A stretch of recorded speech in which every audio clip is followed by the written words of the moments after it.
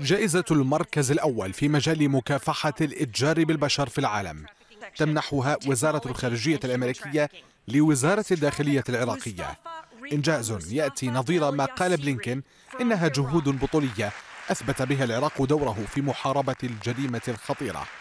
نجح العراق بعد سنوات عديدة من العمل الشجاع في مكافحة الإتجار بالبشر عبر زيادة التعرف على ضحايا الجريمة والتحسن المستمر للدعم والخدمات المقدمة للضحايا.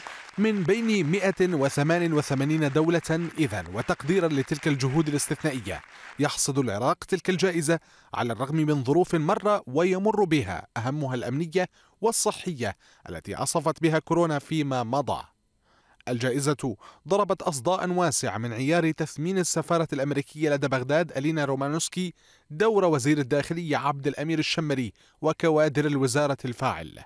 وكانت مديرية مكافحة الإتجار بالبشر كشفت أرقاما مهمة عن نشاط مكافحة الإتجار بالبشر في العراق خلال عام 2023 أعلنت فيها القبض على 1866 معتقلا منهم 636 متهما بالإتجار بالبشر حيث أشار التقرير إلى أن عدد المحكومين به بلغ 252 محكوما أما ضحايا الإتجار بالبشر بلغ 204 أشخاص والمتهمين بالاستغلال الجنسي بلغ 202 التكريم الخامس للعراق للجائزة التي بدأت واشنطن بمنحها منذ 20 عاما يؤكد بحسب خبراء دور الجهاز الأمني العراقي في تحقيق إنجاز وطني لتعزيز الأمن والأمان في البلاد والمنطقة.